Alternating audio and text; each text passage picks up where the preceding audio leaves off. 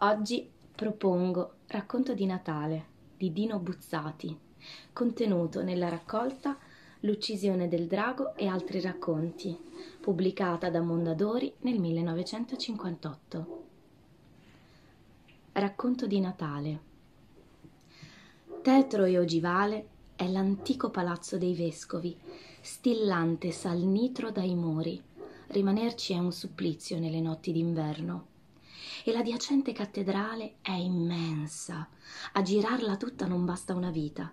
E c'è un tale intrico di cappelle e sacrestie che dopo secoli di abbandono ne sono rimaste alcune pressoché inesplorate. Che farà la sera di Natale? ci si domanda. Lo scarno arcivescovo tutto solo, mentre la città è in festa? Come potrà vincere la malinconia? Tutti hanno una consolazione, il bimbo ha il treno e Pinocchio, la sorellina la bambola, la mamma ha i figli intorno a sé, il malato una nuova speranza, il vecchio scapolo il compagno di dissipazioni, il carcerato la voce di un altro dalla cella vicina. Come farà l'arcivescovo? Sorrideva lo zelante Don Valentino, segretario di Sua Eccellenza, udendo la gente parlare così. L'arcivescovo ha Dio la sera di Natale. Inginocchiato, solo soletto, nel mezzo della cattedrale gelida e deserta, a prima vista potrebbe quasi far pena, e invece, se si sapesse. Solo soletto non è, e non ha neanche freddo, né si sente abbandonato. Nella sera di Natale Dio dilaga nel tempio per l'arcivescovo le navate ne rigurgitano letteralmente al punto che le porte stentano a chiudersi e pur mancando le stufe fa così caldo che le vecchie bisce bianche si risvegliano nei sepolcri degli storici abati e salgono dagli sfiatatoi dei sotterranei sporgendo gentilmente la testa dalle balaustre dei confessionali. Così quella sera il Duomo traboccante di Dio. E benché sapesse che non gli competeva, don Valentino si tratteneva perfino troppo volentieri a disporre l'inginocchiatoio del presule. Altro che alberi, tacchini e vino spumante, questa una sera di Natale. Se non che, in mezzo a questi pensieri, udì battere una porta. Chi bussa alle porte del Duomo? si chiese don Valentino, la sera di Natale. Non hanno ancora pregato abbastanza? Che smania li ha presi? Pur dicendo così, andò ad aprire con una folata di vento e entrò un poverello in cenci. Che quantità di Dio! esclamò sorridendo costui guardandosi intorno. Che bellezza! Lo si sente perfino da fuori. Monsignore, non me ne potrebbe lasciare un pochino? Pensi, è la sera di Natale. È di Sua Eccellenza l'Arcivescovo, rispose il prete. Serve a lui fra un paio d'ore. Sua Eccellenza fa già la vita di un santo. Non pretenderai mica che adesso rinunci anche a Dio. E poi io non sono mai stato monsignore. Neanche un pochino, reverendo. Ce n'è tanto. Sua Eccellenza non se ne accorgerebbe nemmeno. Ti ho detto di no. Puoi andare. Il Duomo è chiuso al pubblico. E congedò il poverello con un biglietto da cinque lire ma come il disgraziato uscì dalla chiesa, nello stesso istante Dio disparve. Sgomento, don Valentino si guardava intorno, scrutando le volte tenebrose. Dio non c'era neppure lassù. Lo spettacoloso appala- apparato di colonne, statue, baldacchini, altari, catafalchi, candelabri, panneggi, di solito così misterioso e potente, era diventato all'improvviso inospitale e sinistro. E tra un paio d'ore l'arcivescovo sarebbe disceso. Con orgasmo don Valentino socchiuse una delle porte esterne, guardò nella piazza. Niente. Anche fuori, benché fosse Natale, non c'era traccia di Dio.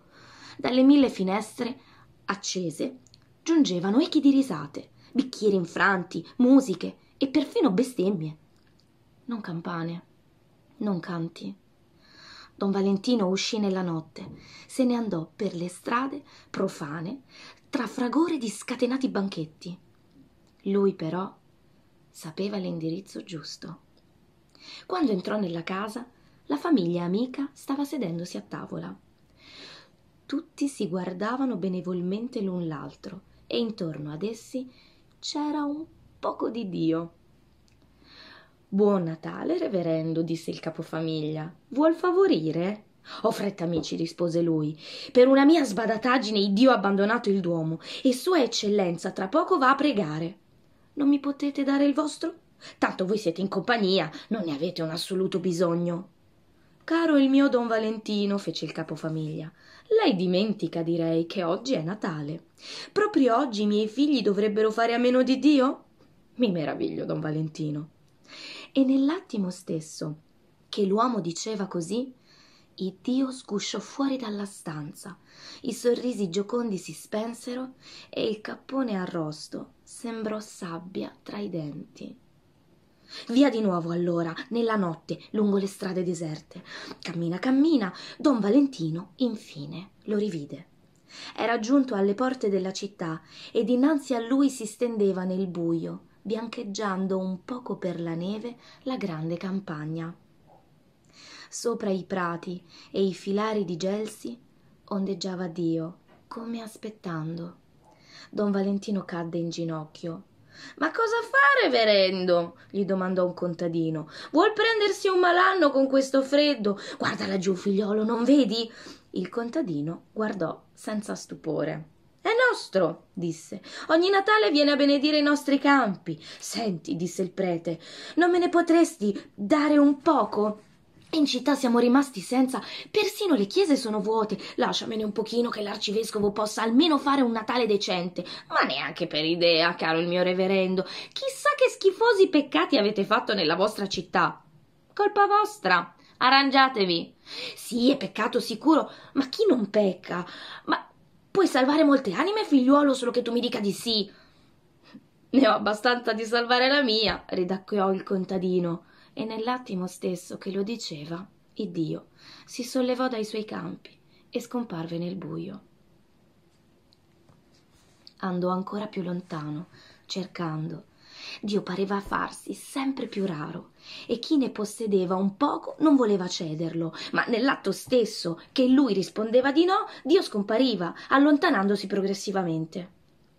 Ecco quindi don Valentino ai limiti di una vastissima landa e in fondo, proprio all'orizzonte, risplendeva dolcemente Dio, come una nube oblunga.